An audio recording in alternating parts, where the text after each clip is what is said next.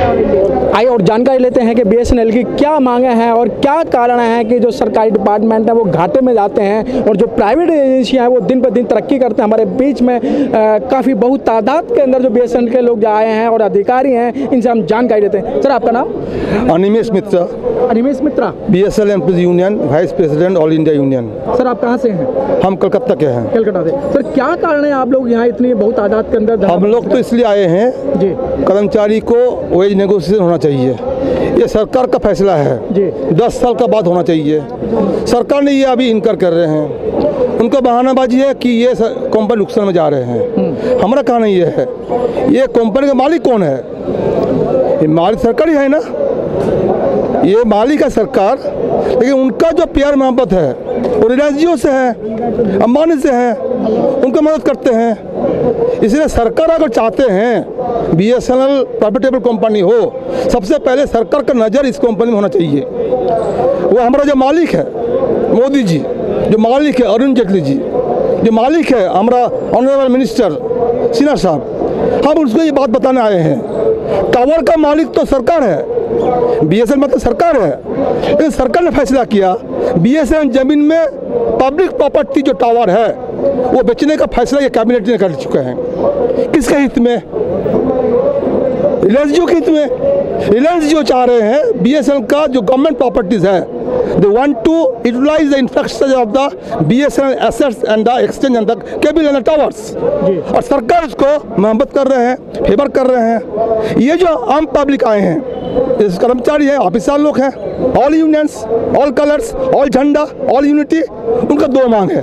एक मांग है सरकार का मालिक जो बी का मालिक है सरकार उनको कुछ सही ढंग से उसको एक दिशा दिखाइए पूरा देश में बी है, हर गाँव में है, हर स्ट्रीट में है, हर रोड में है, हर जगह प्राइवेट कंपनी नहीं है। जम्मू कश्मीर में बी ही है। सरकार जो गर्व करता ना, देश का लिए बी ही है। लेकिन बी एस कर्मचारी लोग पिछले दस साल से उनका तनख्वाह डिविजन नहीं हुआ। क्या ये उचित है? लेकिन सरकार ने फैसला किया, हम इसको वही नेगोशिएट नहीं करेंगे। हम दूसरा मांग किया है जो टावर का मालिक सरकार है कृपा करके वो सरकार अपना पास रखे। कृपा करके सरकार जो फैसला किए हैं ये टावर कंपनी ये हम विरोध करते हैं। सर सरकार का मानना है कि जो बीएसएनएल के कर्मचारी हैं वो सही काम नहीं करते लापरवाही बरतते हैं तो सुविधा सही नहीं मिल पाती है। हमारे एक सवाल सरकार के पास है। ये तो वो कर्मचारी है ना? जो पिछले सत्रह साल में पंद्रह साल में प्रॉफिट किया? जी। ये दो कर्मचारी है ना? जो अभी तक 10 करोड़ का मोबाइल कस्टमर बनाया अभी तक बीएसएनएल पूरा देश में 10 करोड़ कस्टमर है। पूरा देश में nine percent ten percent market share है। ये कर्मचारी लोग बीएसएनएल को प्रॉफिटेबल बनाए थे।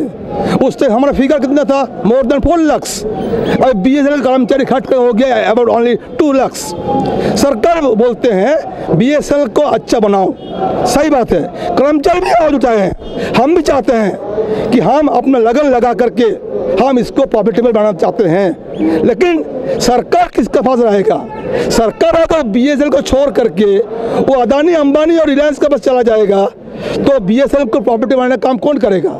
सरकार तो कर्मचारी के साथ नहीं है। सरकार बी एस नहीं है। सरकार है देशी और विदेशी पूंजीपतियों जो कंपनी है, जो चाहते हैं देश को लूटने के लिए जैसे वो पीएनबी को लूट लिया ना जो बैंक है वो लूट लिया सर, सरकार का पीएनबी जो लूटा नहीं है मोदी जी हर मंच से कहते हैं कि हम इंडिया को कैशलेस करेंगे। तो पंजाब नेशनल अगर बैंक अगर कैशलेस कर दिया तो क्या नुकसान हुआ? अब सही बात बोले हैं अब सही बात बोले हैं। लेकिन हाँ, सही बात बोले लेकिन वो पंजाब नेशनल बैंक का पूरा कैश जो है वो मोदी जी को अपना कोई आपत्ति नहीं है।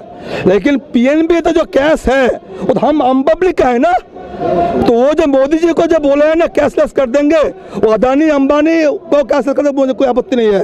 लेकिन असलियत में तो पीएनबी में हमारा जो कर्मचारी लोग है मिडिल क्लास लोग है टीचर लोग है इसलिए उनको छोटा मोटा कुछ पैसा था ना? वो पैसा वो उधार दे दिया। पूंजीपति लोग को और पूंजीपति लोग उधार लेकर के चला गया स्विट्जरलैंड में। अभी मोदी जी बोल रहे हैं हम उसको पकड़ेंगे। It is the policy of the government इसलिए सरकार का जो पॉलिसी है उसके चल, चलते पीएनबी का लूट हो गया उसके चलते आपका पीएसए भी लूट होने जा रहे हैं। फिर भी फिर भी आज भी ये टेलीकॉम सस्ता में है। ये दुनिया में अभी भी देश में सस्ता में टेलीकॉम मिल रहे हैं। एक ही वजह है, उसमें एक टेलीकॉम कंपनी है, जिनका नाम है बीएसएनएल। बीएसएनएल के चलते आपको दो रुपया भी टेलीकॉम पैसा मिल रहा है। जिस दिन बीएसएनएल नहीं था, ये आम पब्लिक पच्चीस रुपया तेल के मोबाइल में बात करते थे।